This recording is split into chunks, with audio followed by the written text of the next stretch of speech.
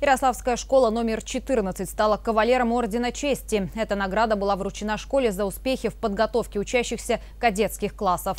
Евгений Полковников побывал на награждении.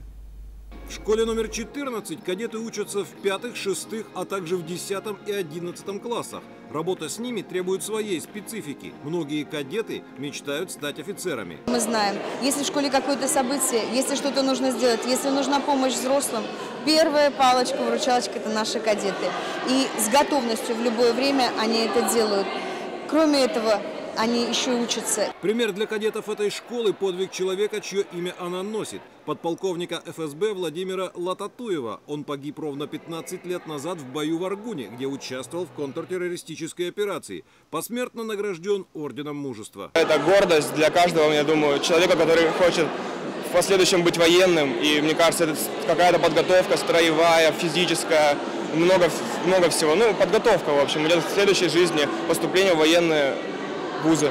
Поступают кадеты этой школы, как правило, в училище пограничных войск. Орден чести третьей степени, который вручили школе за подготовку кадетов, выпущен Ассоциацией ветеранов сотрудников служб безопасности. Это общественная организация, у Ордена чести официальный статус. Они все внесены в реестр ведомственных наград Российской Федерации. Так что поэтому даже ленточку купить, к примеру, значит, там на такой орден, значит, можно пойти спокойно в любой значит, магазин, который военторговский, там эта ленточка имеется. То есть все, положение высокое. Ну и, ответственно, орден есть орден. Школа номер 14 Ярославля, второй в нашей области кавалер Ордена Чести. До этого он был вручен школе номер 2 Углича, где профиль кадетских классов такой же.